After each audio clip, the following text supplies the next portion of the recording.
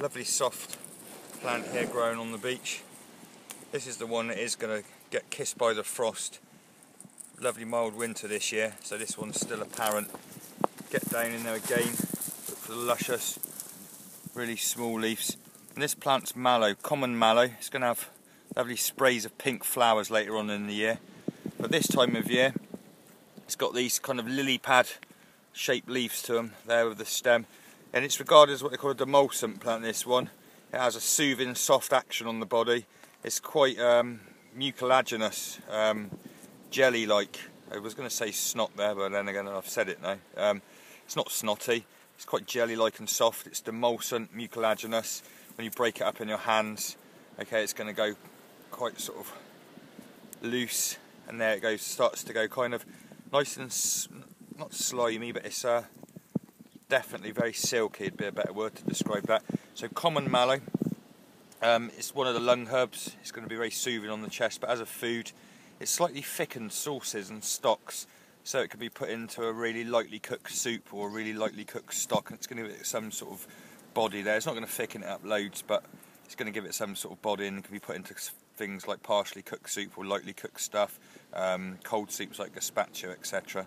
So common mallow, really nice delicate plant, but this one will disappear when you have the harsh frosts in winter.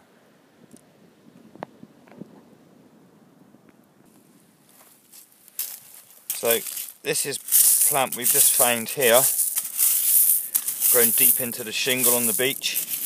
Next to this plant here, which is a teasel, I'm not interested in this one, this is spiny and prickly. This cabbagey looking leaves here, which are really battered, bruised and overdone. It's a really mild winter, so they're still showing. These should have been dwindled away by now.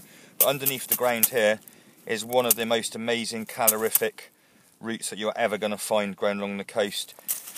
It was reputed to be responsible for the first coastal migrators. I think it was Gordon Hillman used to do Ray Mears's programmes. I'm sure I've seen it on one of his programmes. And it's this root section here that we're after.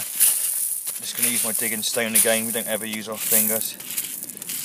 And there you go, you can see underneath the grain there, it's got this root system, and that will spread right out through the shingle, and you can follow it. When you're collecting the roots, just like when you're collecting the leaves, you want to look for nice, clean examples with no maggot going through to it. Make sure the roots are nice and white. And again, if you can leave some of the roots in there, do. Don't take all of the plant when you find it. Make sure you leave half of the root system in there and that'll regrow next year. So I'm not going to dig this one up anyway because it's just on its own. It was quite a rare find. But just to show you, this plant here, sea kale, has lovely white flowers in the middle of summer.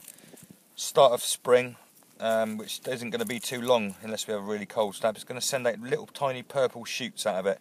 And in that time of year, so those purple shoots right down the stem that we're after. If you ever notice you throw old vegetables into chickens, you'll notice they always peck the stem out. And that was one thing I noticed. And these stems are packed full of nutrients. Small purple shoots are going to be great, but in winter, this is the kind of food we need.